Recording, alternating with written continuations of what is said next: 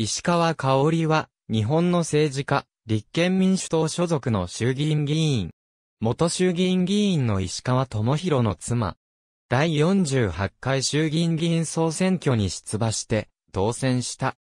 また、旧生命の坂中香織で、元日本 BS 放送のアナウンサーとして活動した。神奈川県横浜市出身。後に、東京都大田区へ移って、大田区立三王小学校卒業。中学校から大学まで精神上司学院で過ごし、精神女子大学文学部哲学科卒業。2007年4月に日本 BS 放送に入社。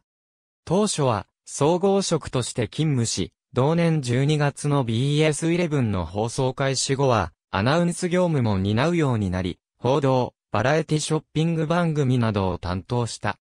2009年6月、父親で当時投資コンサルタント会社を経営していた、坂中昭夫は、ペイントハウス社が2005年に実施した増資をめぐる問題で、東京地検特捜部に偽計取引容疑で逮捕された。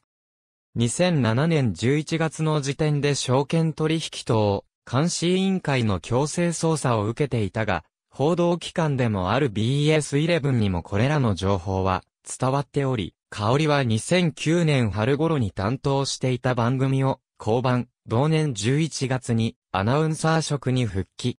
スポーツ中継番組や報道番組に出演。2011年10月3日、石川智弘と結婚。同社を退社し、夫の選挙区である北海道帯広市に移住。その後に長男と長女を出産。2017年9月26日、民進党から第48回衆議院議員、総選挙北海道11区の公認内定を受けるが、直後に民進党が分裂。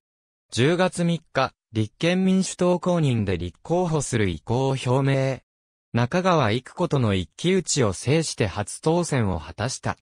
2020年8月24日、旧立憲民主党と旧国民民主党は、二つの無所属グループを加えた形で合流新党を結成することで合意した。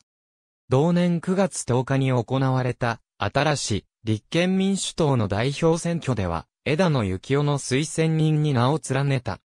2021年10月31日の第49回衆議院議員総選挙に立憲民主党公認で立候補し、中川を破り再選。